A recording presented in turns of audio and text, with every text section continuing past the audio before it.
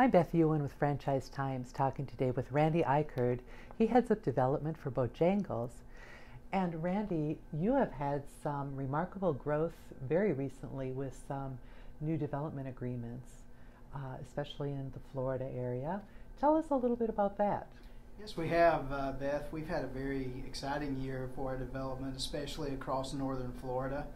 Uh, we've uh, signed some new groups, both uh, some uh, folks that have uh, come to us from the outside, and also some of our existing franchisees that have added on additional territories across northern Florida. We've got a new group in Jacksonville that we're very excited about, um, another group that was one of our existing franchisees in the Myrtle Beach area and uh, went down to Florida and started developing and areas like Lake City and Alachua and Gainesville. And now they've moved over to sign up for some more territory over in the Daytona Beach area, over into Central Florida. And then our, our other group in the Tallahassee market has uh, uh, extended their development agreement to take on the development over in the uh, Panama City area. So uh, we've got a lot of traction, a lot of movement right now in the state of Florida. What do you think are a few of the elements that's driving that interest, both with a brand new group for you and then existing groups adding on? Well, we're uh, we're very fortunate with our existing pool of uh, franchisees.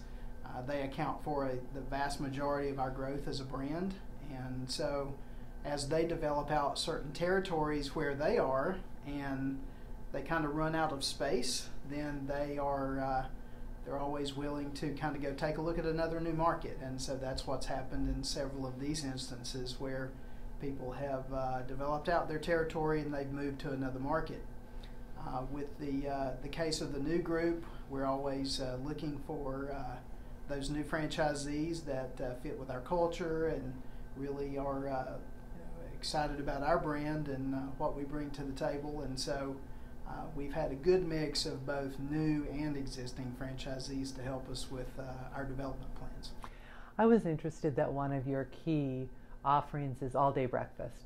Is that right in the in the homemade uh, biscuits? Yes, right. Absolutely. Uh, so, t- tell about what that does for a brand like yours to have those all those day parts or breakfast in all those day parts. Well, there, it is a huge uh, benefit to us as a brand. We do uh, really about 38% of our business by 11 o'clock in the morning oh, as a brand. And Bojangles is really in our DNA. We've had breakfast all day, every day since 1977. Really? And uh, it's not something new for us, and we've made uh, biscuits from scratch every 20 minutes from day one.